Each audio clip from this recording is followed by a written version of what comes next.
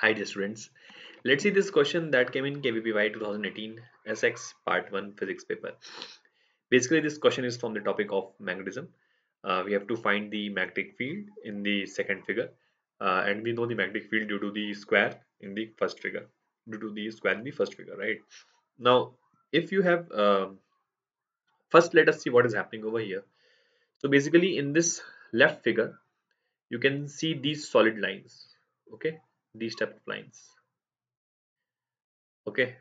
So it's given that let's assume the direction of the current uh, to be in one particular direction. So i have assumed like looking from the right side for any observer who looks from this side we can say that correction will uh, current will be anti-clockwise. So due to this current the magnetic field at the center is b. Okay. Magnetic field at the center of the cube is b correct? Due to this square. So we have one wire second wire third wire four wire. So four wires. Due to this we can say that magnetic field at the center is b. This given. Now in the right figure you can say that current is moving on this line like this.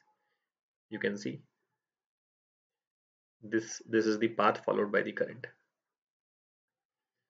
Okay. And then it goes up so we have to find the magnetic field due to this uh, scenario at the center. Okay. Now if you have the question is good. If you haven't done such questions in your JEE preparations then you will find this slightly interesting. Okay. But uh, I guess many students do these type of questions in which we add and subtract the equal amount of currents to make it look like a symmetrical figure. Let us see what I'm talking about. Let us say that in the given scenario the current is moving like this okay so now we have to find the current due to this. We already know that the current due to this square is uh, b at the center. Okay now what i'm going to do i'm going to make three squares. So look how am i going to do this? Okay this is the this is the one square. You can see see over here. Let me make it slightly cleanly otherwise this will be you know cluttered. So basically this is the first square i have completed okay in this i'm assuming assuming current to be downward and like this. Okay then let's let me complete this square. Okay like this. Okay so this is a square only.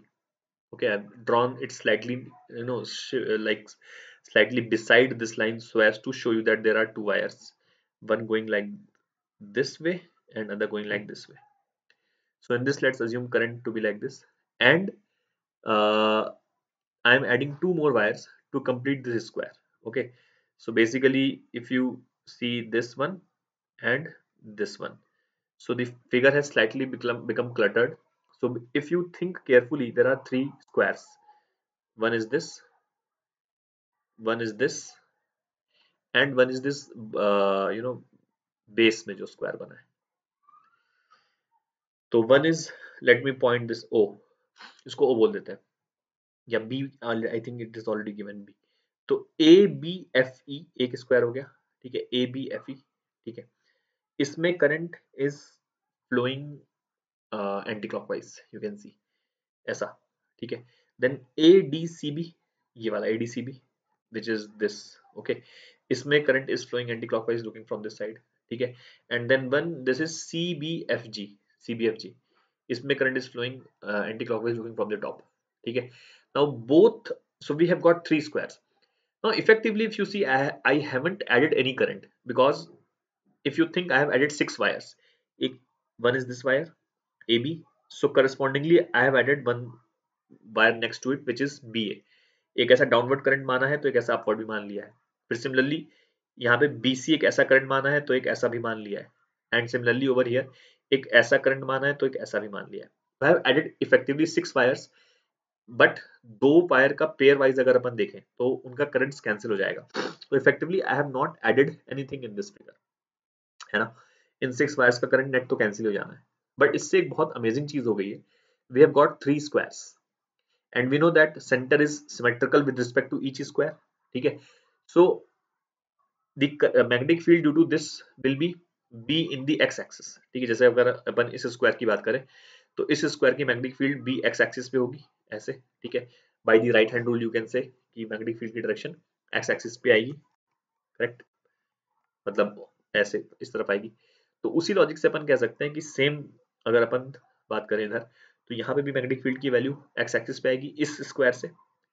ये जो square है, ये वाला A E F B A E F B ये वाला square जो है, इसकी वजह से magnetic field will be going inside ठीक है? Magnitude will be B only direction will be going inside ठीक है?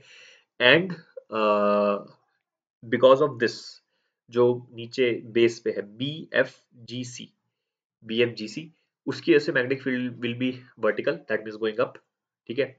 And magnitude will be B so we can say that these three squares will produce the same magnitude and in three mutually perpendicular axes okay so we can say that net B will be is to B square plus B square plus B square hence b net will come out to be root 3b right? हर एक square की magnetic field centre पे तो B ही रहेगी direction mutually perpendicular हो जाएँगे, ठीक है? So I hope you understood answer will come out to be B very nice question in fact if you haven't done such question already in your J preparation but yes as I told you बहुत सारे teachers ऐसे question कराते हैं, ठीक है?